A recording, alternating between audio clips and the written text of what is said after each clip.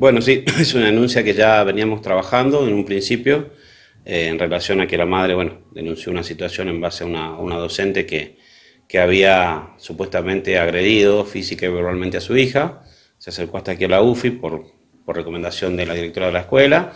Se llevó a cabo la denuncia, se tomó denuncia correspondiente y el, días anteriores ya se, se realizó un anticipo jurisdiccional de prueba que tenía que ver con eh, la, la, audiencia videograbada de la menor y de su hermana, pues la hermana también en un principio eh, había como sido parte o había estado en el, en el momento del hecho, o más, con más exactitud, eh, con posterioridad al hecho, ¿sí?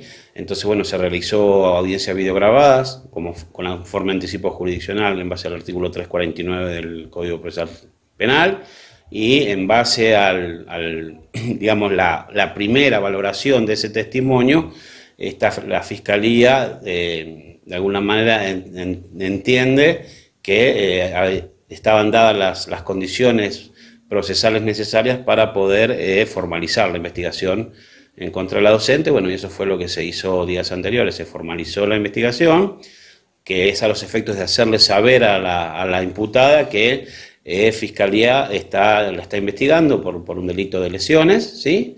En perjuicio de, de, la menor. Y bueno, ahora restan, digamos, realizar en, en un principio las, la, digamos, la pericia de la de la videograbada y bueno, y ver, digamos, qué resultado tenemos en relación a eso. Mientras tanto, ¿qué medidas se toman?